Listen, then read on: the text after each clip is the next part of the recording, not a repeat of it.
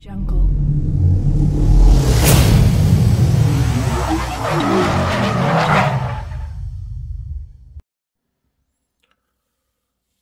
Molecadinha louca que segue o canal, mais um review de packs aqui da minha Marvel Legends e dessa vez é o pack aí de Thor versus Marvel Destroyer, Destruidor, essa armadura lazarenta criada aí pelo Odin, né? Mas que já foi utilizada é, pelo próprio Odin, por exemplo, mas é uma armadura sem corpo dentro, digamos assim, né?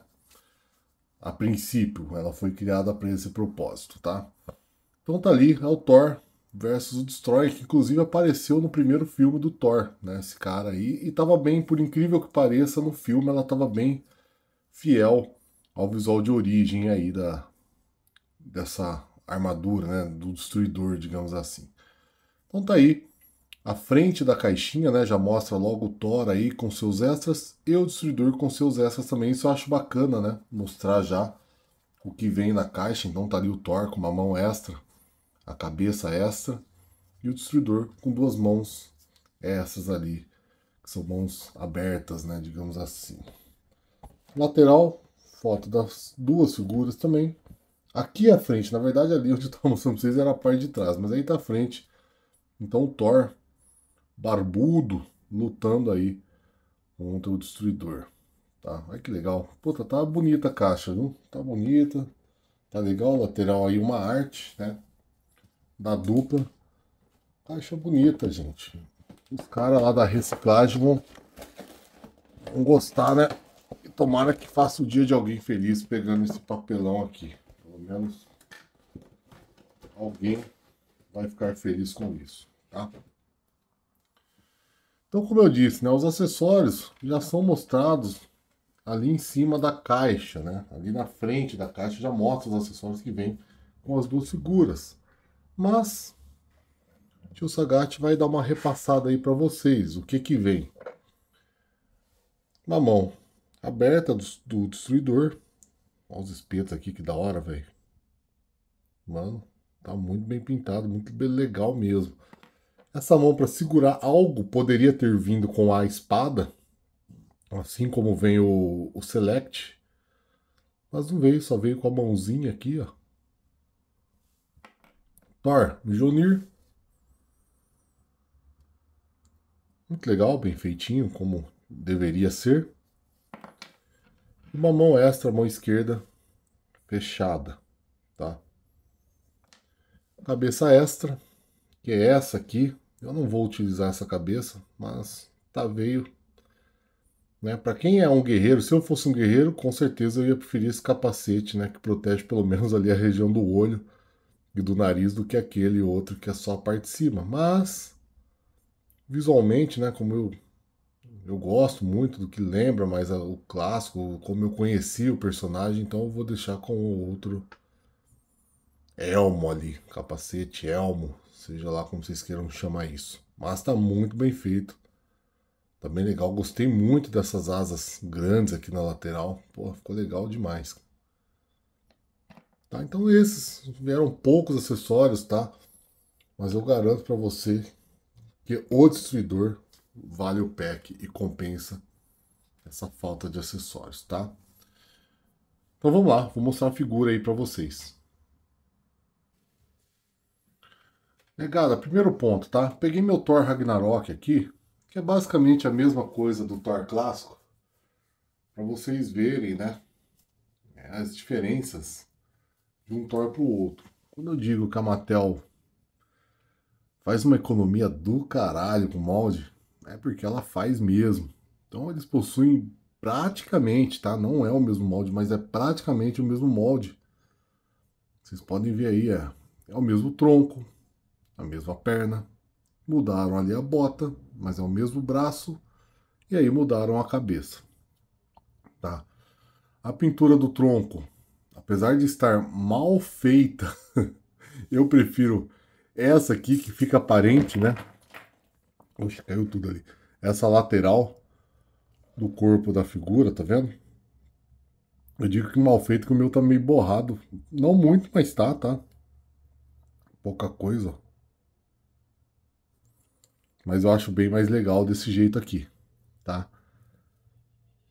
Ambos têm os pinos aparentes. Mas para mim, essa cabeça do Thor aqui, barbudo...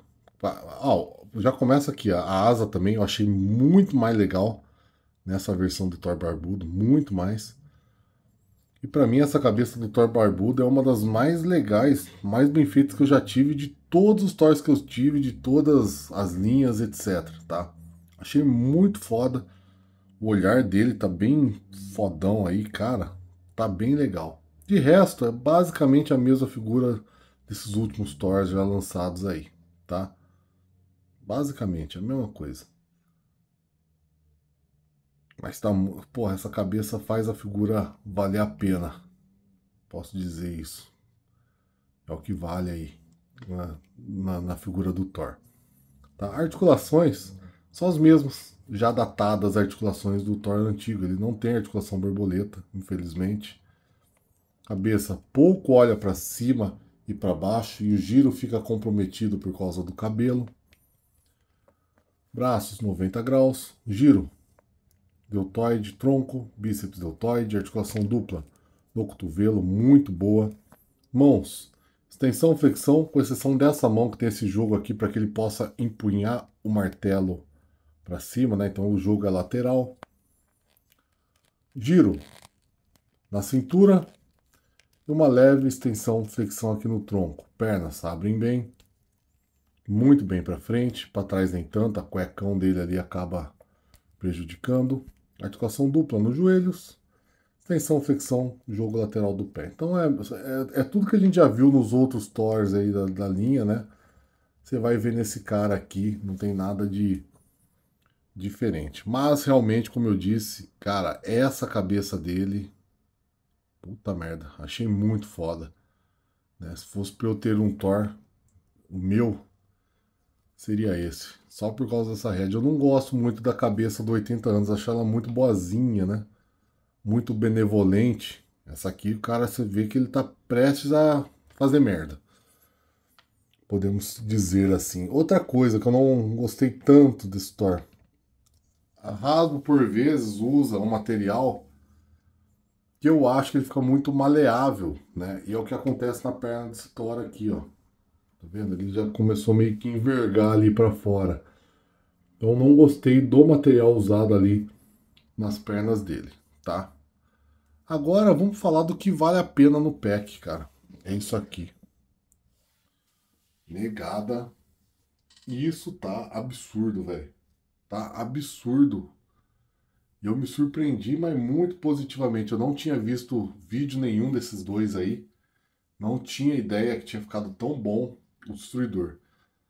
Eu tive o Select e posso falar que ele rivaliza muito com o Select, tá?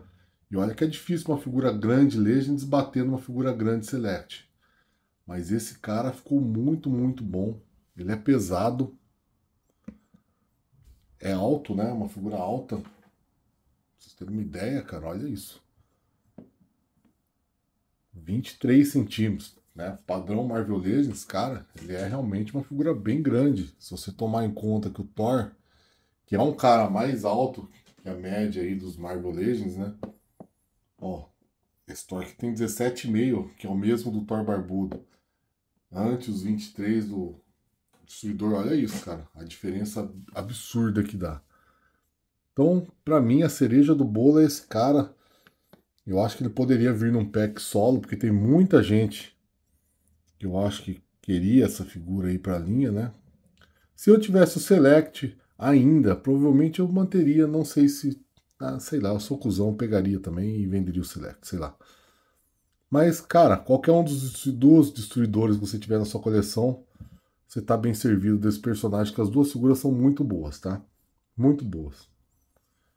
E ele é um pouquinho mais articulado que o Select. Eu lembro que eu tinha o Select, mas ele era um pouco mais. Não que isso aqui seja uma Daiane dos Santos para mexer as pernas e braço, mas ele é um pouco mais do que eu me lembro do meu Select, tá? Então o que, que esse cara faz? Olha isso aqui para baixo, para cima, giro. Olha que legal, o olho dele é pintado ali de branco, né?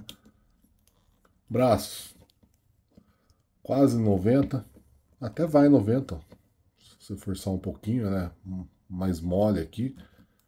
Giro, ela é presa no, no braço, né? Então ele gira aqui normal, não vai impedir de fazer esse giro.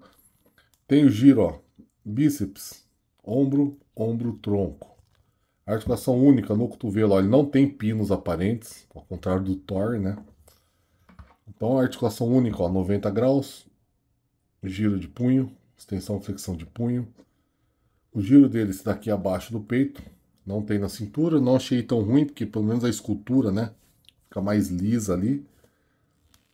Giro aqui em cima da coxa, há quem goste, há quem não goste, eu gosto.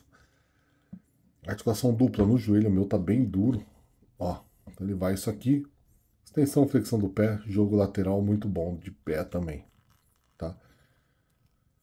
Cara, tá uma figura bem legal. Tá muito foda, velho. Até fazer ele pisando aqui no Thor. Desde que você tenha paciência, né? Ó. Mas tá bonito sim, cara. É a figura do pack, meu. Não é um pack perfeito, né? Já falei o que eu acho desse pack. Mas é assim. Para fãs da Marvel e quem faz a linha Legends e conseguir, principalmente, né, pegar num preço bacana, é um pack que vale a pena ter na coleção, principalmente por conta desse cara, né? E para quem faz questão de uma cabeça menos besta, né, do Thor, porque aquela que tá no 80 anos para mim não, não é a melhor cabeça do mundo. Mas essa aqui tá. Olha, cara. O bicho tá enfesado, mano. Tá bravo. Você vê que vai, vai dar merda, mano. Vai dar merda. Vai acabar com o destruidor aí. Num tapa pela cara do Thor ali. Essa outra aqui. Quem tiver um corpo sobrando e quiser colocar. Também. Tá aí. Mas, cara, essa aí tá realmente. É o Thor Motherfucker. E é isso, molecada. É isso mesmo. Quem curtiu, puder deixar o like, se inscrever no canal, ficarei muito grato. Fique por aqui, fiquem com Deus. Até o próximo vídeo, que o próximo sim, aí sim, é a figura nota 10 aí dessas últimas lançadas na linha Legends. Hawkeye. Bora!